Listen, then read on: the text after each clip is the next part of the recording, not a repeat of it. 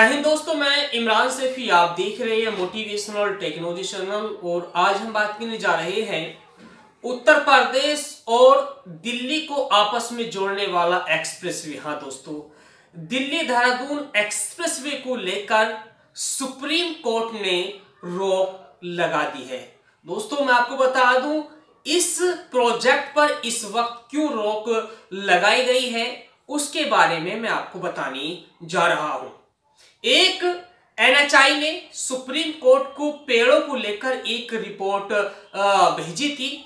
इस एक्सप्रेसवे के अंतर्गत ग्यारह हज़ार से ऊपर पेड़ आ रहे हैं और एनएचआई की तरफ़ से एक रिपोर्ट सौंपी गई थी सुप्रीम कोर्ट को और उस पर सुनवाई हुई है।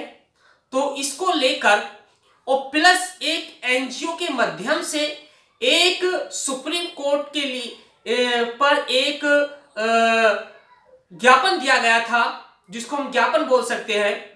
उसके अनुसार इस वक्त सुनवाई हुई है और इस प्रोजेक्ट पर रोक लगा दी गई है, क्योंकि ग्यारह हज़ार पेड़ काटने हैं। तो अब सुप्रीम कोर्ट की द्वारा जो सुनवाई होगी 26 नवंबर के बाद सुनवाई होगी उससे पहले पहले सरकार को इन पेड़ों को बचाने के लिए या ये जो ग्यारह हज़ार पेड़ है, इनकी और व्यवस्था करने के लिए सरकार को एक नया प्लान बनाना पड़ेगा। उसके बाद इस प्रोजेक्ट पे से रोक हटेगी और उसके बाद जो बैनेमे की जो प्रक्रिया है, वो प्रारंभ कर दी जाएगी। दूसरा, जो किसान कंटिन्यू अपनी आवाज़ उठा रहे हैं सर्किल लेटों को लेकर कुछ किसानों के बैनामे शुरू कर दिए गए हैं। और कुछ किसान अपनी सर्किलेटों को लेकर अभी अड़े हुए हैं। इसलिए इस प्रोजेक्ट में देरी हो रही है और फिर सुप्रीम कोर्ट के आदेश के बाद इस एक्सप्रेसवे पर रोक लगा दी गई है और पेड़ों की जो व्यवस्था है वो कराई जाएगी।